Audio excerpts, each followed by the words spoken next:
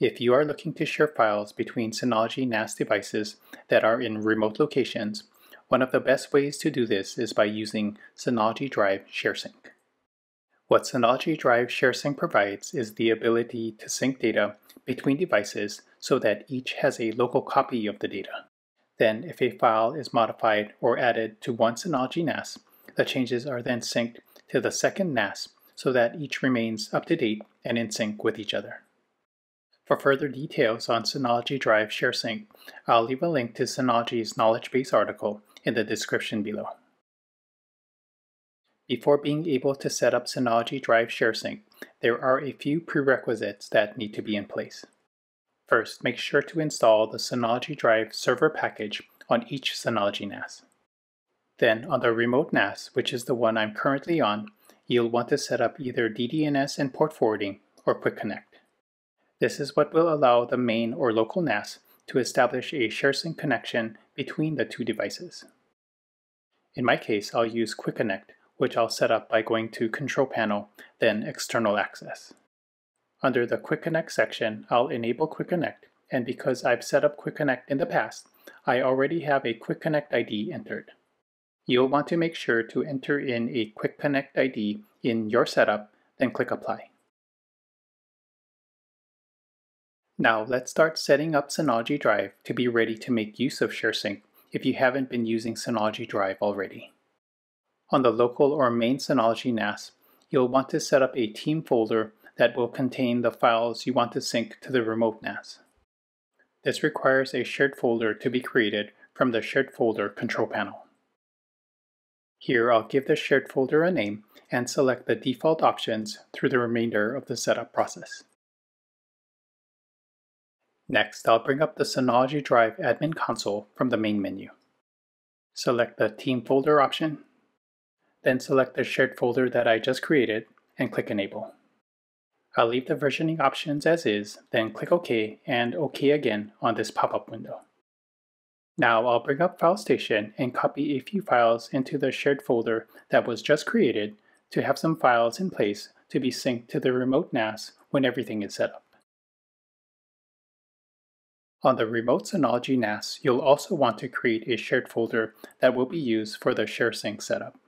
And to keep things organized, I'll give the shared folder the same name I used on the local NAS. Next, I'll bring up Synology Drive Admin Console, bring up the Team folder section, and enable the shared folder as a team folder on the remote NAS as well. Now we're ready to set up Synology Drive ShareSync, so back on the local NAS, I'll bring up Synology Drive ShareSync from the main menu, and click Start Now from this welcome window, which will bring up the Synology Drive ShareSync setup wizard. On this window, I'll enter in the Quick Connect ID of the remote NAS, along with entering in an administrator username and password of the remote NAS as well. Once the connection is established, this Select Remote Folders window will pop up.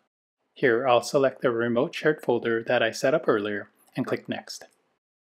From this Review Sync Settings window, I'll make sure the folders that I'd like to sync between the two devices are correct, which they are in my case, and also make sure that two-way sync is enabled, which it is by default. Now I'll click Done to finish up the setup and to start the syncing between the two devices.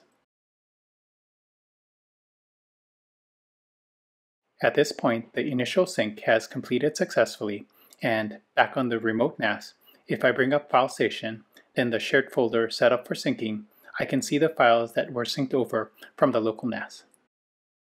Now I'd like to do some testing to make sure that two-way syncing is working properly.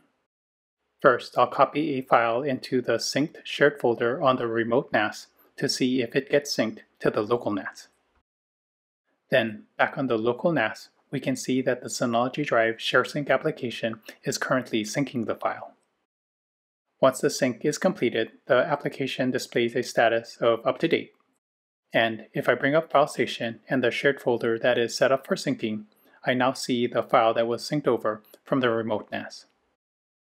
Next, I'd like to test to make sure that file changes get synced between the devices.